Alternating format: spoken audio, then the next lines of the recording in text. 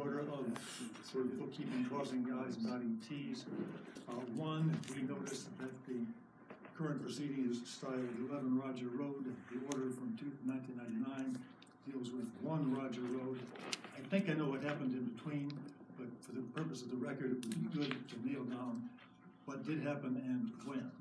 I believe the property was subdivided so that that place could be built on, on the corner. Right now, the pro, the application refers to a different property by label than the one subject to the order that you say is relevant. Second, uh, sort of a dotting i's, crossing t's question, and this is to the building inspector. Uh, I see that the the order was issued on November twenty-second, which is the Wednesday before Thanksgiving. How was it delivered or served? It was hand-delivered in my office on December first, On December first? yes. Okay, thank you. And I actually have a, You want, want them to answer about the address? he has the answer right now, the, The the, the town, record. the town changed the address of the property from one Roger Road to eleven Roger Road. You know, the, the town, uh, designated a different street address. For the property at issue here? Correct. Do you know when that happened? It, for, for the board's information, it was about two thousand four. Um, the property on the triangle of Blue Hill and Roger was, was originally, I think, designated as Blue Hill Road. There was a house there since the turn of the nineteen hundreds. And this board actually saw a, a variance application in 07, 08 for that house. So when you saw it in 07 or 08, that house was one the renumbering had already occurred and, and the subject property here was eleven. So it was somewhere in 03, 04 that it changed. And I have a conceptual question which I'd like to address to this clerk first and get the parties a chance to respond to it. Uh, this case has been styled for our purposes today, and let's take it for that purpose, uh, as all about compliance with the nineteen ninety-six order.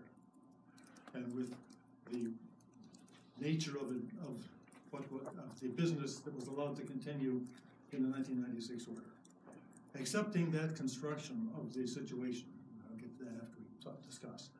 Um, I, th- I thought about why was there an order in nineteen ninety-six? It was because there was a controversy in nineteen ninety-six. Thinking about the reason for the controversy and looking at the, at the affidavits we got before led me to understand how the different people could be seeing things that make this evidence more or less consistent. And what they describe is a controversy about expansion of the operation immediately before the order in nineteen ninety-six. So the question arises, uh, is the business that is allowed to continue the one that was in operation the date of the consent order? Was it not the one in operation the date that the town filed in court to enforce the building inspector's order, which the then owner was ignoring? Is it the date of the building inspector's order? Is it the date of the change in operation that led to the complaint that led to the order that led to the consent order? I can imagine a legal argument for any of those dates. Uh, is there any governing authority about that that will help us, or should we apply judgment to it? You need to apply judgment to it, you need to look at the facts and the history of the matter. One of the reasons why I recommended that you bring, consider bringing the two thousand eleven um, file completely into, into this matter so that you all look at it before, you know, thoroughly before you make any determination. You know, certainly, we could unearth the, um, materials from the nineteen ninety-six litigation, we could make an effort to do that. You know, Obviously, it's twenty, you know, years ago. So we could make an effort to dig into the archives to try to find, you know, what, what other evidence there may be there. But in the end, what you're left with is the agreement for judgment, and what it says. I mean, that is the operative, um, you know, uh, document. And so it may be, though, that when you look at the pleadings and so forth, it may give you a, a better flavor. And certainly, I can look into that, you know, you know, work with the town manager to try to I'm sure those documents came back and are in your archives at this point. We can look for them. Okay, did you have something? Good. as I said, I would appreciate if the, if the counsel for the appellant or the, or the building inspector had a view different from that, and be glad to hear it, while the hearing is still open. Uh, I'll respond. Uh, Typically, there's a complaint filed and an answer. Um, One party files a complaint, the town landowner files an answer. Those are allegations. They may or may not throw light. I've looked at the complaint. They may or may not throw light on the 96 agreement. I think what you're left with is its terms. And it says the business of Roger Trucking uh, may continue. So I, I think that's what you're left with. I, I don't, I, I know that doesn't make your job easier. Uh, perhaps more specificity uh, in the order, or in that agreement itself would have been helpful t- this many years later, but it's not available on the face of the order. And, and to follow up further, Madam Chair, through you, of course, also there was the two thousand eleven determination, which upheld the, um, the June two thousand eleven cease and desist order. So that's of Wait. importance as well. My question is only about the construction of the order and the events around it from ninety-six, because the appellant says that's the only thing we're supposed to look at. Well, in my opinion, you need to look at two thousand eleven. You think that's more, I think you need to look at both. yeah, Can I, uh, speak to the Yes. question?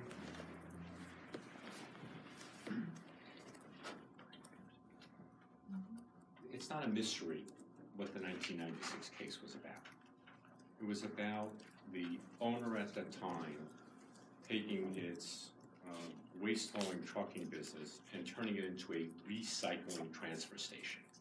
That's what was going on. We- We know that uh, it was very much in vogue in the 1990s. They started taking appliances, picking up appliances, having people drop off appliances. They built a concrete structure uh, where they were starting to store these materials, starting to sort them, putting them into different uh, operations. And from the building inspector's point of view at that time, they were running a transfer station. And that was perceived by the building inspector to be an expansion of a non-conforming use. And the building inspector challenged the operation of a transfer station. The agreement for judgment, which is a binding judgment against the town of Great Barrington, says, in no uncertain terms, Roger may continue to maintain its business and office at the site, and may continue to park at and operate from the site all its trucks and equipment, including trucks which have full or partially full boxes or dumpsters on them. Provided, however, that said full or partially full boxes or dumpsters shall not be removed from the trucks at the site, nor further emptied or filled at the site. That's what this was about. There is, there's, there's, there's, there, there is no, I think, dispute. I think the language is quite clear. I, I, I understand that, that the building inspector and perhaps his counsel would like to say, gee, we really don't understand what this language is saying about what can be done and what not can be done. Rogers Trucking had a trucking business. They hauled garbage. We know they had six garbage trucks. That's documented all over the place. We know they had roll-off trucks. That's documented. And we also know that you don't have an expansion or a change in a non-conforming use simply because the volume of business goes up. And you certainly don't have a change in a non-conforming use because instead of hauling garbage, you're now hauling dirt. If that's where we're really headed, well, then that's, that's where we'll find ourselves. But what, what we, what we find here is that there is a trucking business and equipment storage that was specifically allowed for this site. It, it, it- specifically provides an judgment enforceable against the town. And that is what Mr. O'Brien is doing today. He's doing a trucking business and, um, and he stores some equipment at the site. That's what he does. And the, and the, and the trucking business is as, as, as it's been described. He has eight trucks that he uses for dump trucks, and yes, I acknowledge he has four trucks that he uses in the, in the uh, wintertime for snow plowing from this location. The, the comment about two thousand eleven, I, I will have to take issue with council, uh, town council. I think that's going to be more of a source of confusion than clarity. And here's why. The complaint about activity was a landscaper's yard. Gary O'Brien has a landscaping business. It had about, you know, fifteen vehicles. It had what you and I and everybody in this room understands as a landscaping business. Pickup trucks with the trailers, with the lawn mowers, with all the operations that you have with a, with a landscaping business that was being operated at, at- at the property. Those, what we heard about in two thousand eleven from the neighbors was, gee, those trailers would go down and rattle down Roger Road and all the equipment would jingle on it. It was very, very disruptive. And, and, and what was going on there was a landscaper's business. And that was, the building inspector said, you can't have a landscaper's business there. He didn't say you can't have your trucking business there. You can't have that landscaping business, just like you can't have a transfer station. He wasn't challenging the, the, the trucking business use. Hmm. And when we came to this board, it's true, three members felt that even that landscaping business was, didn't rise to a change in a non-conforming use. Two members felt otherwise. We know by law, it takes four members, building inspectors, um, um, uh, uh, decision that a landscaping business was, was an expansion was going on there, and that's how that case was resolved. Today, we are not talking about anything other than his trucking business. That's what it is. And this notion that there's more than one business here, I thought I cleared that up in the last meeting. There are a couple of vehicles that say Gary O'Brien Landscaping that are leased to, to, to his trucking business. The fact that there is a, uh, a, a, um, uh, a decal on a truck doesn't suggest that there are two businesses. We've told you exactly what, what those trucks are. There is one business operating on that property, and it's the trucking business, and, and it has, uh, trucks going in and out of there, just like it had trucks going in and out of there for the last eight or nine decades. And again, I'm not gonna get into a counting process in terms of, gee, is it six trucks or eight trucks or ten trucks? Because you know something, none of that matters. Until you get a level of intensity of use that arises to, uh, that we see in the case law thirty times, you know, um, uh, in, in, in multiple times where you're really talking about a completely different operation, you don't have an expansion of a non-conforming use. You just don't. And, and, and that's what I urge the board to, to keep their eye on. So I don't think this judgment is confusing. I think the words say what they were, what they say. And obviously, if you want to advocate to try to, you know, shut this business down in this location, then you're going to say, gee, we can't figure out what these words mean. But I think if you read, if you read the words on the page, they say what's allowed, and what Mr. O'Brien is doing today at this site is exactly what is specifically allowed under this agreement for judgment, and we ask the board to so find. I have Thank a you. Yes, Claudia Shapiro, seventy-eight on Lake Plain Road. This, uh, meeting seems to be based about a nineteen ninety-six, um, a judgment. Judgments have statutes, they expire when they're not recorded. Uh, was this judgment ever recorded in the registry of deeds or in land court? Well, it was recorded at the Registry of Deeds, it was recorded with the court. The book and page is book two oh one five, page eighty-seven, recorded on, uh, uh, in two Could you repeat that, please? The- sure. the book on the page? The book is two Oh, oh one five, 2010? page eighty-seven. But that's fourteen years past nineteen ninety-six, that's long past the statute, it's a six-year statute to record It has judgment. nothing to do with the statute, I, I, I don't, I want through. that stated for the record, please, what I just got up and said, thank you very much. It's fourteen years later. Madam Chair, through you, Yes. I, the nineteen ninety-six judgment would still be in force and effect. But to speak to what Attorney Feldman was saying about the twenty eleven cease and desist order, which was upheld, in my opinion, that is before this board, because there was a cease and desist order that was an interpretation of that nineteen ninety-six judgment that took effect, wasn't appealed. And so that is something that the board needs to look at, in my opinion. Mm-hmm. I think we agree with that. Yes, John? Um, Mr. Feldman, a couple of questions. Um,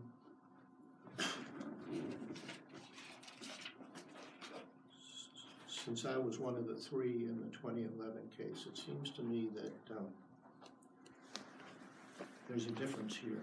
Uh, Whether you wanna make a legal argument that it is still a non-conforming use, it seems to me that the impact on the neighborhood now for whatever reasons, is greater than it was then. And, uh, that's what really troubles me, and you said in your presentation today, and you said it once last week, the, at the last meeting, that you just, you, said that uh, the O'Briens wanna be good neighbors, what does that mean? Well, what I can tell you it means is this, when I hear that there's a couple of truck drivers that uh, don't seem to be respectful when they're driving down that driveway like I heard tonight. There are some people that drive down at four or five miles an hour or whatever I heard tonight, there's some people that sort of disregard that. That's not something that I know Gary O'Brien uh, condones, that's not something that uh, he wants to see happen. And, you know, I certainly know, regardless of the outcome of this meeting, that, you know, his drivers will be told when you, when you navigate down Roger Road, you do it deliberately in a slow speed and things like that, because that kind of conduct shouldn't happen, number one.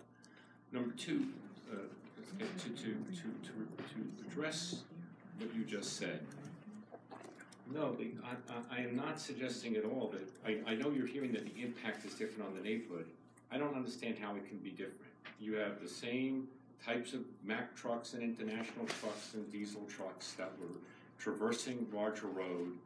Um, what you had as different in kind back in two thousand eleven was in addition to that, you had all the landscaping activity, which was really, in- uh, uh, creating a, a much more intense use and the nature of the, the noises and impact on the neighborhood were different as it was described back in two thousand and eleven. But today, what you're hearing from people that have moved into the neighborhood in the last few years, this gentleman moved in in two thousand and seventeen, is that, you know, he hears these diesel trucks go by. Well, if he was here in nineteen ninety-six, he would have heard the same diesel trucks go by. I'm gonna interrupt you, and landscaping trucks, a lot of landscaping trucks.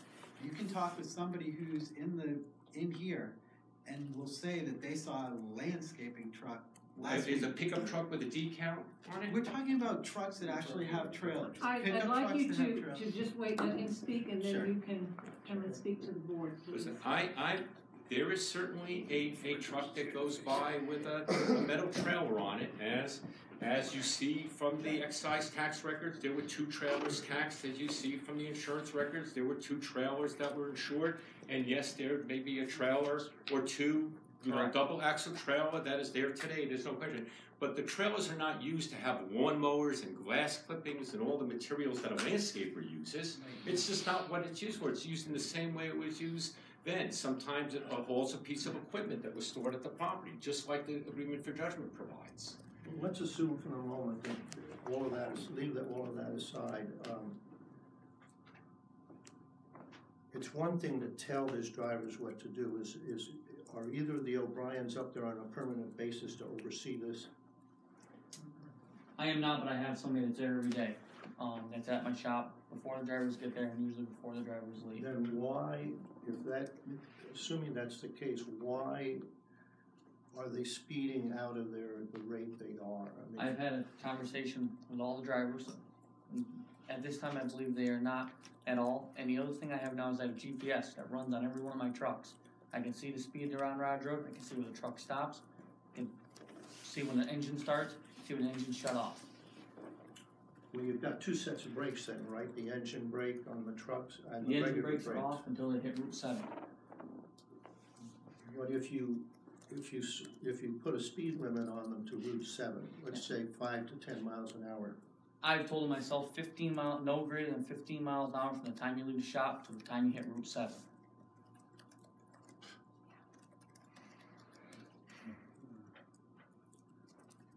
But is that, that, is that the way it's working now or not? Because according to the neighbors, it's, It is. Well, a- again, I'm not gonna dispute that, that. it- I'm not, uh, we're not, I'm- Yeah, I'm not gonna dispute that someone could have violated that. I, I, I don't, I don't wanna. Today, well, I think it's, im- I think it's, im- I think it's important because, uh, that's one of the, one of the, um, the conditions that we may have to consider. And I think it would require, at least I'm speaking for me at this point only, I think it would require, um, uh, a number of specific conditions for the O'Briens. And we'd also set up an enforcement procedure that requires him to pay fines for every violation. Um, because the enforcement issue is something that really bothers me. And as I understand, uh, chapter forty of the law, we can, we can impose a fine equal to what the building inspector can, which would be, it's it's Pitsky, but it would be three hundred dollars per violation. And, um, the, to the extent that, uh, we can slow the trucks down, and if they're not slowed down, there's a three hundred dollar fine, fine per each time they don't per day. And, um, um,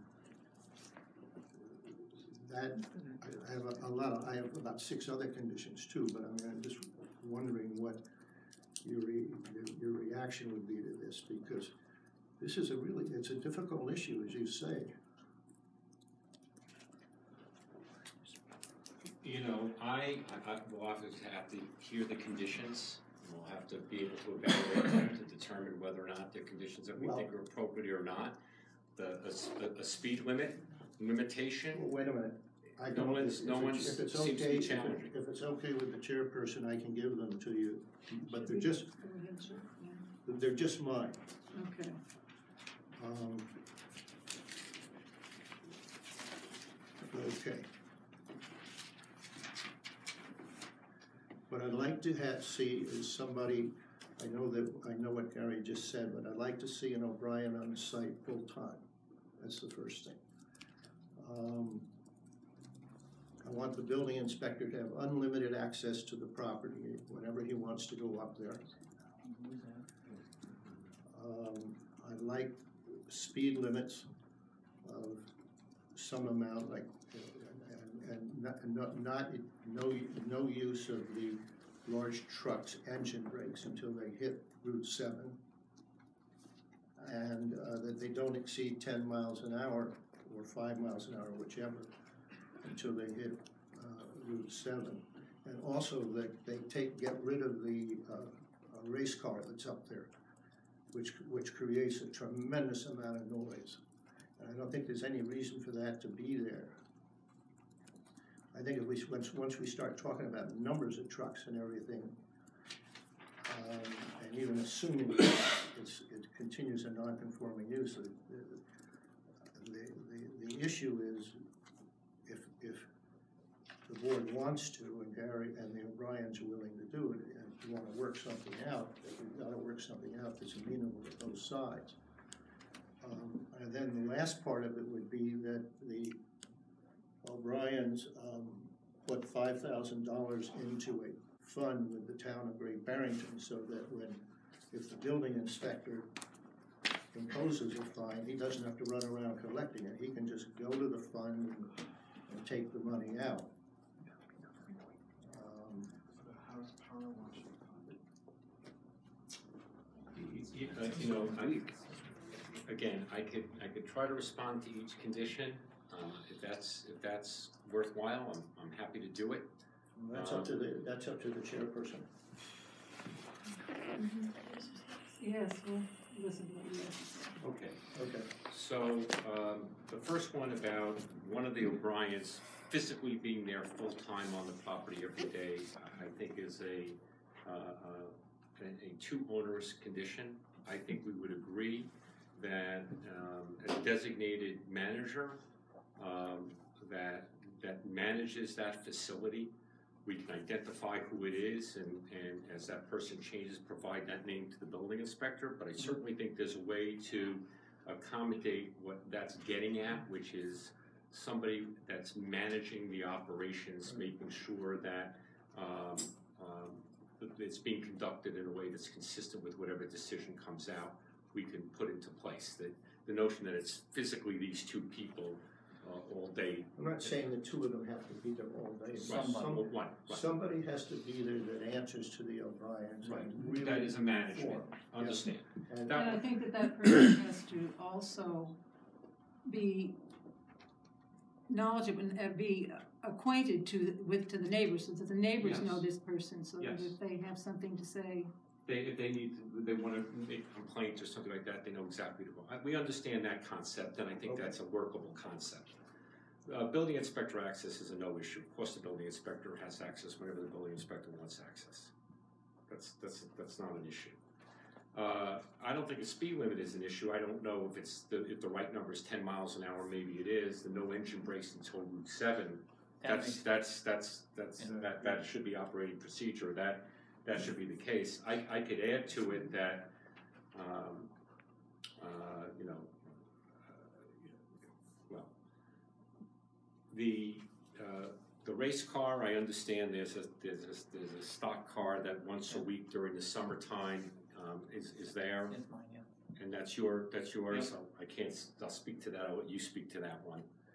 Um, I, there's not a problem with putting a, a, a fund away, the problem is that I can't set up a procedure where there's no due process. In other words, where someone says, gee, I saw a truck going down at twelve miles an hour, fine hundred dollars. And we don't have an opportunity to address that, so that's the, the only problem, is, is creating a, a mechanism that, you know, is, is, is No. I, I agree with that, but what, the only, the, the, the, the only way the, the, the town can enforce anything, is counsel for the building inspector has said, is if they go to court. And they've already done that, and that's an expensive process. And what I'm trying to do is figure out a way that, that, that creates a method of enforcement, doesn't require the town to go to court each time. No, I, I, And I don't think, I don't think the O'Briens would want that, I don't think the town would want it. It's expensive. No, both I don't, there's no question that I that, mean, I'm, I'm just giving you general outlines, I mean, it- you know, Yeah. details would have to be worked out on how it would work. well, I mean, the police We're- department we're- may have to be we we are, involved. we in- are open to consider all, all, all, we are open to consider all these and, and get some details that work. And if there's, and if there's another thought, you know, it's not precluded to this list, there's another item on the list, we're, uh, we're open to talk about it as well. I mean, we're not blind by the fact that this is a challenging issue for the, for the neighborhood. We get it, and we- we're trying to figure out, is there, is there a mechanism where, uh, we can, uh, cohabitate so that, uh, it works better than it does now? It doesn't serve anyone, it doesn't serve the O'Briens, it doesn't serve the town, it doesn't serve the neighborhood. Every five to six years, we find ourselves in this situation. You, you pointed out at the last hearing, I think quite appropriately, we'd love to come up with a solution that, you know, can define things so that we don't have to be back here again. And, you know, we're committed to try to, to try to find a process to do that, as long as it, it, it's one that allows the business to be able to operate, uh, the way it needs to operate. I ask a question? Yes, sir. You know, you've mentioned about the increase in nonconformity, that you'd have to, uh, reach a number about thirty times before it'd be, reach that critical point. We'd have to For have- sure, thirty times would be an expansion. There- there- Yeah, There may be a break point before But that. if you go back to nineteen thirty-two when it started, you probably reached that by now. If you consider how much the business has grown over the years. And, uh, you have a very confined area now. I think you've reached the saturation point as far as the nonconformity. To go any further than this, when, I, the last time we met in two thousand and eleven, and, uh, to me, you know, I was siding with the, uh, the business that it should continue, but in, in that period of time, it seemed to have increased. And I'm thinking about the, uh, the size of the trucks, they seem, they're bigger, they seem like they have more of an impact on the neighborhood. And, um, I'm not sure if this was happening before or not, but it wasn't brought up where the, uh, Don, I'm just gonna, I'm just gonna take a John pause. had to take a, take a break here. You just wait, she just doesn't want him to. He needs to hear it all. okay. So we'll take a pause. I hope you can, can maintain your thought. Well, you know, getting old, Maybe it was prototype.